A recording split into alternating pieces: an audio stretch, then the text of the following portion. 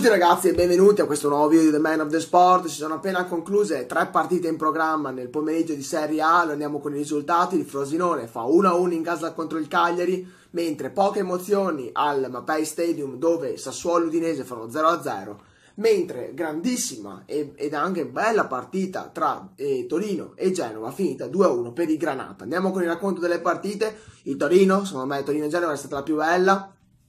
allora partiamo subito con questa partita, secondo me il Torino ha meritato la vittoria, ma succede tutto nel primo tempo, dove prima eh, ci sono due occasioni da, da, una parte e dall'altra, prima per Piontek e poi per Belotti, due, i due bomber che si affrontavano in questa partita,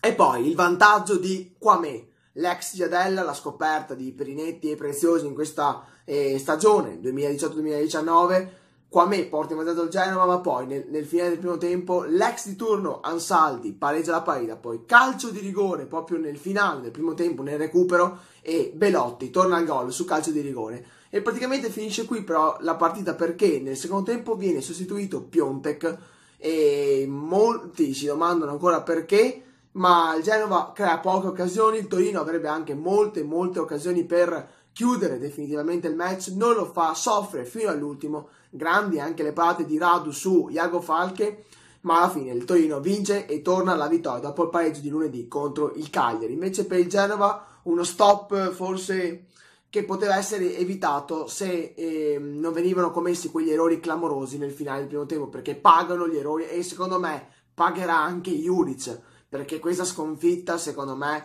con un po' più di attenzione difensiva poteva essere evitata eh, onestamente. Andiamo invece alla partita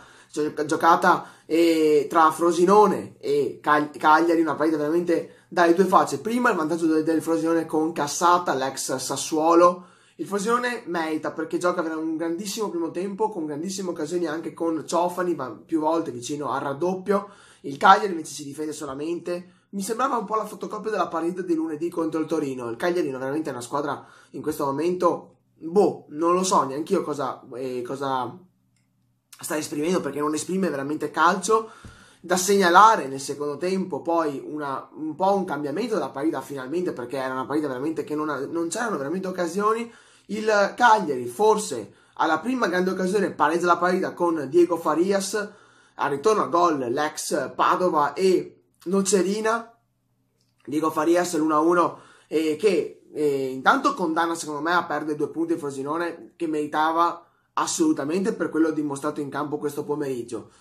Però il pareggio alla fine forse è il risultato che più, diciamo, più rispecchia la partita perché il Frosinone si è fatto un bel primo tempo ma il secondo tempo un po' si è nascosto e, il Cagliari nel finale ha attaccato anche per la vittoria e da segnalare l'espulsione di Barella, altra espulsione di questo giocatore che forse questo è il limite proprio caratteriale di questo giocatore che non riesce a darsi una frenata nei momenti più diciamo importanti delle partite. È un'espulsione che costa veramente molto molto secondo me al Cagliari che nel finale con un barella in più poteva anche portarsela a casa la vittoria. Invece poche emozioni al Mapai Stadium come avevo detto 0-0 tra Sassuolo e Udinese una partita veramente, diciamo, da, da, non segnalano neanche tante le occasioni perché sì, Berardi è andato vicino al gol più di una volta, però l'Udinese oggi è andato a prendersi proprio un punticino in trasferta dopo la vittoria contro la Roma nella scorsa settimana. Quindi ragazzi, queste sono state le partite giocate in, in Serie A, segnaliamo anche i risultati della Serie B, i due finali delle,